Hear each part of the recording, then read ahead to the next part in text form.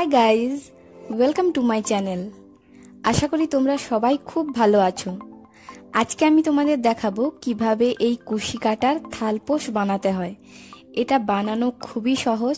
তো চলো ভিডিওটি শুরু করা যাক। প্রথমে আমি স্লিপ নট করব। স্লিপ নট করার পর চারটে চেন করে নেব।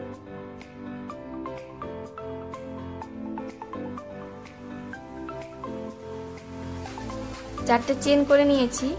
এরপর এই যে প্রথম যে চেনটা আছে, ওখানে গিয়ে আমি স্লিপ স্টিচ করব।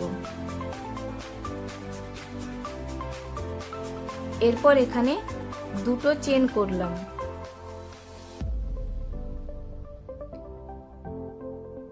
তারপর এই এই যে ফাঁকটা আছে, এটার মধ্য দিয়ে এগারোটা ডবল ক্রোচেট করব। ঠিক এটার ভেতর দিয়ে এগারোটা ডবল ক্রোচেট আর এই ফার্স্টের যে চেন আছে, এটাকে আমরা একটা ডবল ক্রোচেট হিসাবে ধরবো। মানে টোটাল বারোটা ডবল ক্রোচেট হবে। তো আমি এটা পুরোটা কমপ্লিট করে নিয়ে তারপরে দেখাচ্ছি। আমি এগারোটা ডবল ক্রোচেট করে নিয়েছি। এবার এখানে সেই যে দুটো চেন দিয়ে গিয়েছিলাম, ওখান, ওর মাথাতে গিয়ে স্লিপ স্টিচ করে এটাকে বন্ধ করে দেব। স্লিপ স্টিচ করে এটাকে বন্ধ করে দিয়েছি। এরপর আবার দুটো চেন করব। প্রতিবারে এই যে দুটো চেন করছি, এটাকে একটা ডবল ক্রোচের হিসাবে ধরব। তো ওখানেই ওর ওর গোড়াতেই এই যে ফাঁকটা আছে, এখানে আরও একটা ডবল ক্রোচেট করব। দুটো ডবল ক্রোচেট হয়ে গেছে। এরপর পরের যে ডবল ক্রোচেটটা আছে, ওর মাথাতে মানে চেনের মধ্য দিয়ে দুটো ডবল ক্রোচেট তো তার আগে আমি এখানে একটা চেন দিয়ে নেব। তারপর এই চেনের ভেতর দিয়ে দুটো ডবল ক্রোচেট এভাবে প্রতিটা ডবল ক্রোচেটের মাথায় চেনের মধ্য দিয়ে দুটো করে ডবল ক্রোচেট আর মাঝে একটা করে চেন হবে। দুটো ডবল ক্রোচেট হয়ে গেছে, এরপর একটা চেন করলাম। চেন করে পরের যে ডবল ক্রোচেটটা আছে, ওর মাথাতে চেনের ভেতর দিয়ে আবার দুটো ডবল ক্রোচেট তারপর আবার আমি একটা চেন দিয়ে নেব। এভাবে আমি পুরোটা কমপ্লিট করব। আমি পুরো লাইনটা কমপ্লিট করে নিয়েছি। এরপর এই দুটো চেনের মাথাতে গিয়ে স্লিপ স্টিচ করে এটাকে বন্ধ করে দেব। এরপর আবার দুটো চেন দুটো চেন করার পর পরের যে ডবল ক্রোচেটটা আছে, ওর মাথাতে ওর মাথাতে চেনের ভেতর দিয়ে দুটো ডবল ক্রোচেট। চেনের সোজা দুটো চেন করেছি। তারপর পরের যে ডবল ক্রোচেটটা আছে ওর মাথাতে দুটো ডবল ক্রোচেট করেছি। এরপর আবার একটা চেন করলাম। চেন করার পর প্রথম যে ডবল ক্রোচেটটা আছে ওর মাথাতে একটা ডবল ক্রোচেট তারপরের যে ডবল ক্রোচেটটা আছে ওর মাথাতে দুটো ডবল ক্রোচেট এভাবে আমি করতে থাকি। তারপর একটা চেন প্রথম যে ডবল ক্রোচেটটা আছে, ওর মাথাতে একটা ডবল ক্রোচেট পরের যে ডবল ক্রোচেটটা আছে, ওর মাথাতে দুটো ডবল ক্রোচেট মানে একই জায়গা থেকে একই চেনের মধ্য দিয়ে দুটো ডবল ক্রোচেট তারপর আবার একটা চেন এভাবে আমি পুরো লাইনটা কমপ্লিট করব। আমি পুরো লাইনটা কমপ্লিট করে নিয়েছি। এরপর এখানে স্লিপ স্টিচ করে এটাকে বন্ধ করে দিলাম। তারপর আবার দুটো চেন করব। এরপর পরের যে ডবল ক্রোচেটটা আছে, ওর মাথাতে একটা ডবল ক্রোচেট